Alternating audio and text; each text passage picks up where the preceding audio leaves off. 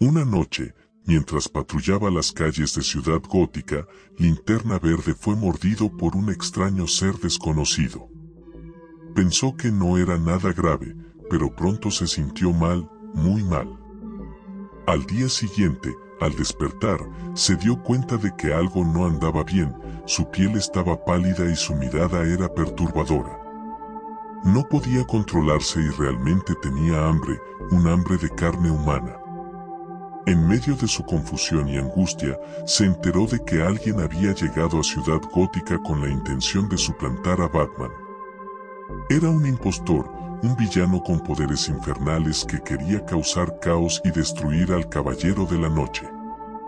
Linterna Verde, en su estado de zombie, sabía que debía pelear contra este batimpostor, porque sabía que el verdadero Batman no dejaría que una amenaza así se apoderara de su ciudad.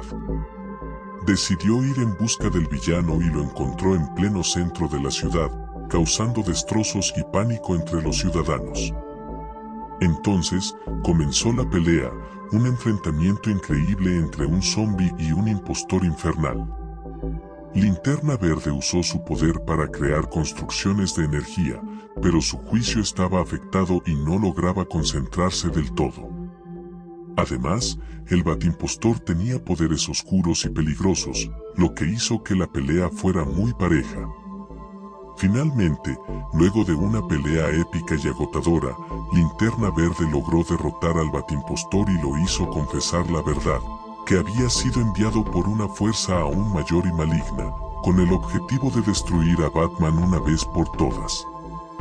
La aventura de Linterna Verde como zombie había terminado, pero ahora había una nueva amenaza en el horizonte.